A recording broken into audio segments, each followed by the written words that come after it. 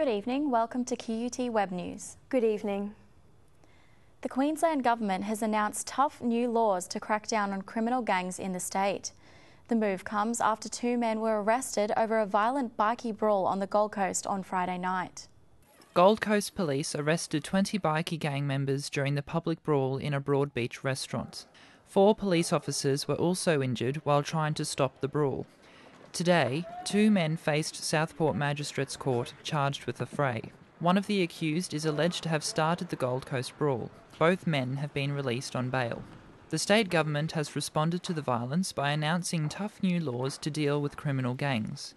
Among other things, the new laws will ban gang members from gathering in groups and stopping them from owning, operating, or working in tattoo parlours. We will do as a government whatever needs to be done to ensure that Queenslanders don't feel frightened and intimidated by this sort of criminal gang activity. The new laws will also include a minimum 12 months jail for serious assault of a police officer and will give police the power to confiscate motorbikes and other vehicles. These people have always operated on the fringe of the law. They've always uh, sought to, to push the boundaries. Mr. Sini says these laws are intended to be among the toughest in the country, if not the world. And the government is adamant that it will crack down on organised crime, not just on the Gold Coast, but wherever it might occur. Luke Rutledge, QUT News. Brisbane's real estate market is on the rise, following a slump in the years after the global financial crisis. Auctions are showing the biggest growth in the current market. House auctions are sparking the most interest in the rising market.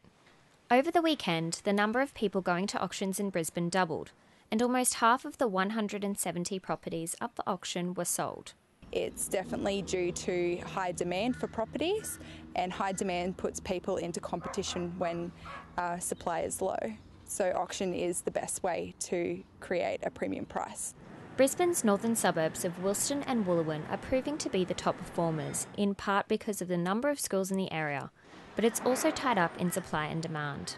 So we've come to the situation we've got low housing stock, and suddenly we've got confidence in the market, we've got low interest rates, and that can only lead to high prices. Brisbane's housing market has taken longer to bounce back because of what happened in the global financial crisis. Queensland had a little bit more activity than Sydney and Melbourne after the GFC. They went down a little quicker than we did. Brisbane had the biggest house price increase of all capital cities in August, but spring is expected to bring even more growth.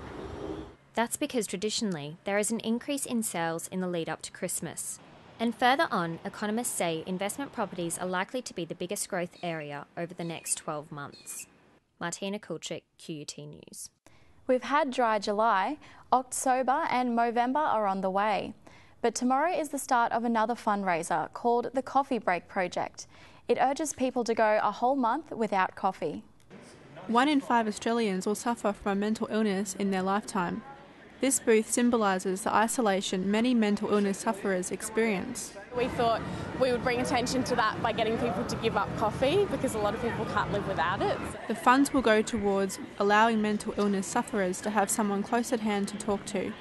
The Coffee Break project currently has over 100 volunteers. They basically take them for a weekly outing, and it's usually like a coffee and a chat.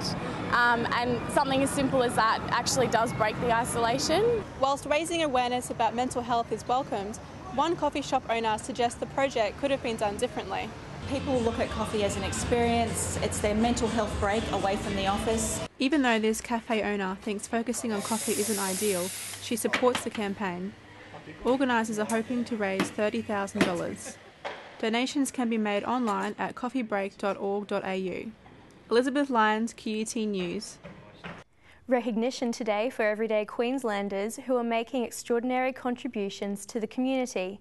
They've won Pride of Australia awards for being selfless, inspiring, and courageous. These Queenslanders deserve more than just a thank you. They've all done something to change or save lives without ever asking for credit. People like 74 year old Graham Pampling, who dedicates his time and most of what he earns teaching vision impaired children to touch type. He's been busking in Queen Street Mall for 25 years now, his main source of income after he lost his own sight. I enjoy helping and assisting other people to do something that I can do so that they can learn. Winners of the Heroism Medal were the three men from the RACQ Capricorn Rescue 300 helicopter crew. It was just, you know, one of the one of those jobs that you know you, you get the call, you do the planning, you've done the training, and you know, we went out there and um, did the did the best we could. The ten categories range from environment to community spirit. Outstanding bravery from children to adults alike. And still, none of these Queenslanders consider themselves a hero. I just consider myself a committed human being. Maritza Munoz, QUT News. Hawthorn Hawks players continue to bask in the glory of Saturday's AFL Grand Final win. The Hawks put last year's disappointments behind them with a 15 point triumph over Fremantle Dockers. The final siren signalled their redemption. Dawson deprives him. They've done it. The best team all year. Having lost in 2012, Hawthorn stormed back to secure their 11th premiership. They simply outran and outplayed the Dockers in front of a 100,000 strong MCG crowd. The Hawks continue their celebrations as premiers in Tasmania today, following yesterday's presentation at Glenferrie Oval, where over 10,000 fans turned out to congratulate their heroes. The coach told fans he was confident his side would get over the line. Until about the last minute of the game when they needed to kick three goals in a minute, we knew we had it then, so uh, we started celebrating. A supportive fan base welcomed home the less cheery Dockers in Perth, but their chief is proud. Last night at the function, the mood was probably a little bit uh, solemn to start with, but once the night progressed, I think uh, everyone started to recognise the effort of the season. Brisbane Lions may have missed the finals for the last four seasons, but new coach Justin Leppitsch plans to turn their fortunes around.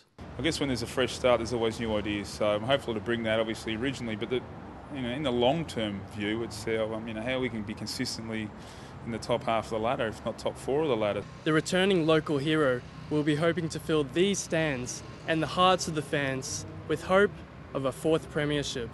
John Beattie, QUT News. The Manly Sea Eagles have officially begun embracing the hype of Grand Final week by facing the media at Brookvale Oval. Whilst their Grand Final opponents, the Roosters, headed down for a recovery session at Bondi. Manly faced a big media pack at Brookvale Oval. The team was all smiles as they posed for the photo ahead of the big game. Manly star Jamie Buhrer says the boys are looking forward to the week ahead. Uh, it's it's when you want to be playing uh, at the end of the year. You know, two teams left and the, the big prize. So, uh, yeah, very exciting week. He says for Manly to win on Sunday, they need to restrict the Roosters forwards. They've got a big pack of forwards, uh, really physical team, uh, and if we can uh, limit their forwards to a degree, uh, I like to think our halves and backline, you know, will have the class. The Roosters spent their morning in the famous Bondi surf. In the QRL Grand Final, the Mackay Cutters won the Intrust Super Cup after a nail-biting finish against the East Tigers. The Cutters' 25 20 victory was scored when Anthony Mitchell scored a try in the 79th minute. Mitchell runs! Anthony Mitchell! Anya Simonson, QUT News. Tennis Australia is on the search for the nation's fastest server. At Carindale today, the AO Blitz clocked the speeds of shoppers to see if Brisbane has what it takes.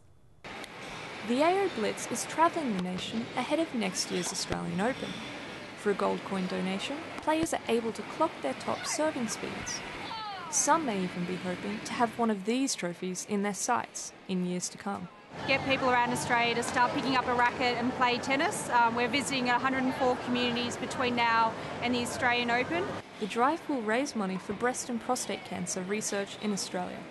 The first $10,000 raised will be matched by Tennis Australia. The Guinness World Record for the fastest tennis serve lies with Australian Samuel Groth, who clocked up 263 kilometres per hour. While speeds at Carindale didn't reach that record, the participants are pretty happy with themselves. I think my fastest was about 112. Are you happy with that? Yeah, it's pretty good. So far, the fastest serve has been clocked at 186 kilometres per hour at Noosa. Brisbane kids haven't yet matched this speed, but who knows? After a bit of training, they might just have the fastest serve here at the Brisbane International one day. The tennis season is just around the corner, with tickets for the Brisbane International on sale this Wednesday. Eliza Jane Mann, QUT News. Time now for a look at the weather.